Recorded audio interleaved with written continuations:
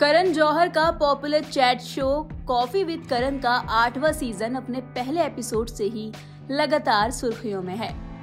इस शो में दीपिका रणवीर से लेकर सैफ अली खान, नीतू कपूर, जीनत अमान, आलिया भट्ट, जानवी कपूर समेत कई स्टार्स काउच पर नज़र आए। वहीं अब ये सीज़न अपने अंतिम पड़ाव पर है। हाल ही में आठवें सीज़न का लास्ट एपिसोड का प्रोमो सामने आया है। जिसमें जाने माने सोशल मीडिया इन्फ्लुएंसर्स और कंटेंट क्रिएटर्स शामिल होंगे।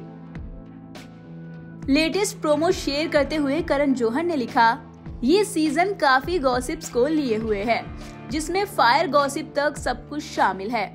अब ये सीज़न हमारे स्पेशल जूरी के साथ खत्म होने जा रहा है, जो अपनी राय देने से पहले कुछ भी नहीं सोचते। वो इस कॉफ़ी में हॉटनेस का और ज़्यादा तड़का लगाने आ रहे हैं। दरअसल रैप अप एपिसोड में कुशा कपिला, सुमुखी सुरेश, दानिश सैद, तन्मय भट्ट और अवत्र मणि यानी ओरी मिलकर केजीओ की टांग खिंचाई करने वाले हैं। सामने आए प्रोमो में सभी मिलकर करण से एक के बाद एक सवाल पूछ रहे हैं। इस दौरान बॉलीवुड स्टार्स, किड्स और पैप्स के फेवरेट ओरी खुद से रिलेटेड कई बातें रिवील करते हैं, जिसे सुनकर आप भी चौक जाएँगे। ओरी को अक्सर आपने बॉलीवुड पार्टीज़ और सेलेब्स, उनकी सेल्फीज और इनकम सोर्स पर खुलकर बात करते हुए तो देखा ही होगा। लेकिन क्या आपने कभी उन्हें अपने रिलेशनशिप स्टेटस के बारे में बात करते हुए सुना है? दरअसल, करण जौहर के शो में ओरी अपने रिलेशनशिप स्टेटस के बारे में खुलकर बात करते हैं। प्रोमो वीडियो में सबसे पहले ओरी ने बताया कि लोग बेशक उन पर मीम्स बना रहे हैं, लेकिन इससे उन्हें कोई फ़र्क नहीं पड़ता।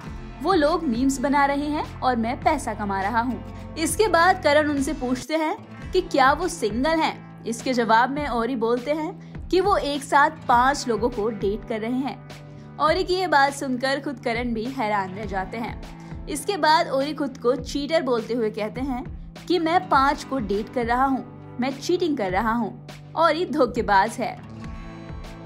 आपको बता दें कि ओरे को अक्सर बॉलीवुड सेलेब्स किड्स के साथ पार्टियों में देखा जाता है। सोशल मीडिया पर ओरे की कई तस्वीरें सामने आते ही वायरल हो जाती हैं। उनका पोज भी अब काफ़ी पॉपुलर हो चुका है।